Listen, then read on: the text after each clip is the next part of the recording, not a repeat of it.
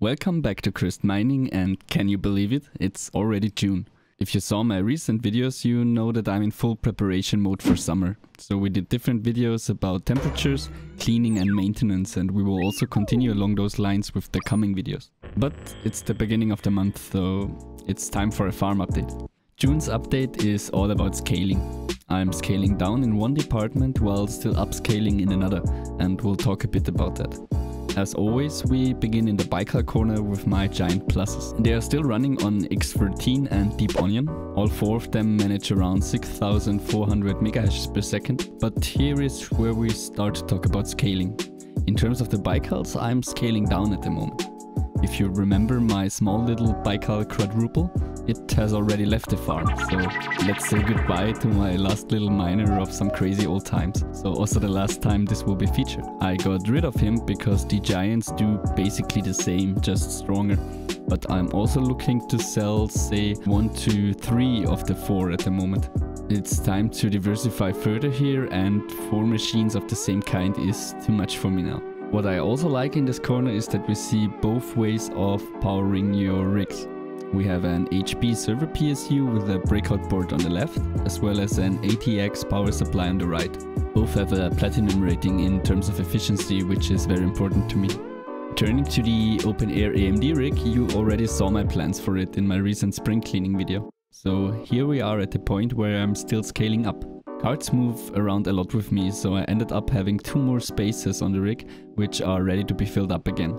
Here you are seeing the beautiful Aorus RX 580, which is waiting together with an XFX RX 470. They too will get some maintenance and caring before they get inside the rig. In the meantime, they are mining Monero together with the CPU.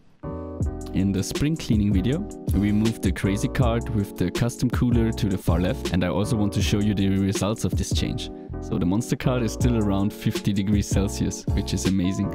And you can even feel it on the other card, because the deltas just pull so much air from the rig. Another possibility for this rig would be to build it out even beyond 6 cards, because the Gigabyte motherboard has an additional M.2 slot, but let's see in the future. While we are at GPUs, we turn to the other rig, which is outside the room, the Octominer. It's full of Nvidia cards, mixed from a 1050 Ti for 1066GB, a 1070 Ti to two 1080s. I just missed the opportunity to make a beautiful screenshot for you because it has been stable for 22 days and right after that of course it had a reboot. But I can only say that I'm really happy with stability. This is also the reason why the AMD cards get maintenance and care first, because everything in the Octominer is only around and below 60 degrees, so everything cool, everything stable. Lastly, we talk about the scrypt miners, small and big. So in that department we have two FutureBit Moonlanders I just did a video about and then of course the good old L3 Plus. I still argue for the Moonlanders as perfect learning devices, but both scrypt machines, no matter if Antminer or USB miner, lost a lot of profitability recently. Scrypt mining is continuing to grow and at least in my opinion I'm pretty sure we'll see a new scrypt miner very soon. Sad thing for the L3 Plus of course, which is also the loudest machine here if anyone's interested, but it has paid for itself so it's not on my scaling down list for now. Remember when last month in the mining farm video I told you that I already got rid of the splitter cables on the Baikals and was waiting to do the same on the L3 Plus. The breakout board for it came, but take a look at it. I'm not plugging the L3 Plus in something destroyed, so I'm waiting for a replacement, yay. So that's already it for this month's little farm update. Some moving around and scaling up and down. As you saw, we are in summer preparation mode and this is also why things move slower.